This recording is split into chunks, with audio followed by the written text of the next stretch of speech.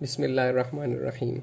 Assalamu alaikum. This is Dr. Usman Akhtar. In today's video, we are going to review about anemia of chronic disease.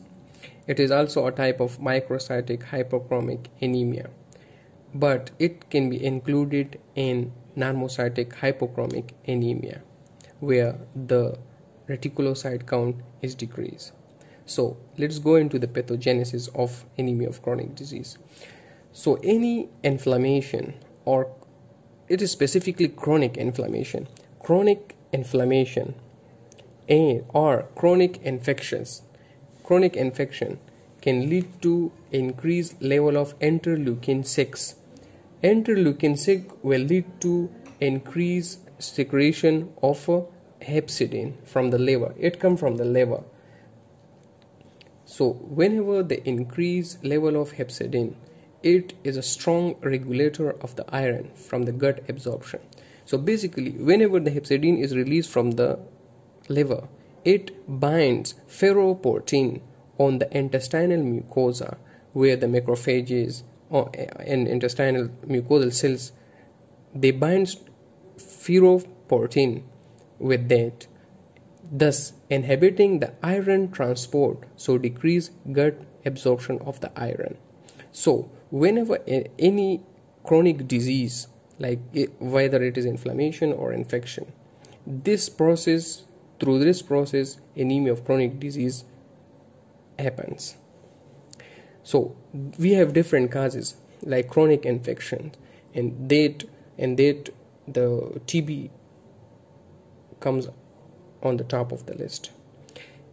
Chronic renal diseases rheumatoid arthritis SLE these are type of autoimmune disease. So any uh, autoimmune diseases which are basically very chronic so can lead to certain pathogenesis and can lead to anemia of chronic disease. The symptoms and signs are almost same for every anemia regarding ex- exception is there but here all the anemia feature will be same.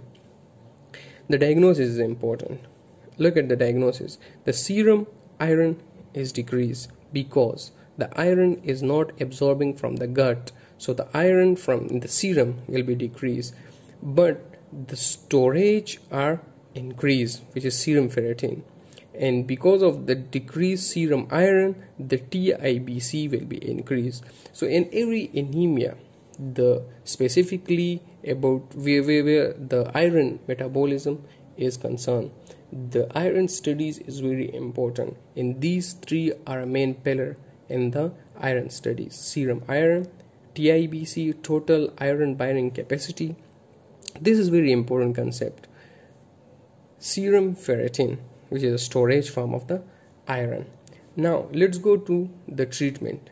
The treatment is very simple like treat the underlying cause whether it is infectious or inflammatory disease or autoimmune disease just treat the cause and the process will uh, reverse and the disease will cure by itself. And another it is a type of supportive uh, management erythropoietin. You can give erythropoietin injections so the erythropoiesis can be stimulated. But very important point came into my mind now just with the erythropoietin. Whenever you give erythropoietin to a patient. Never give a second shot before one week because erythropoiesis take almost one week for the full uh, work. So never give just like if you give erythropoietin to a patient just wait for one week. It's not like this you give today and after two three days you are looking at cbc and the erythropoiesis is not happening so you give another shot it ultimately will worsen the patient by polycythemia and some other uh, causes.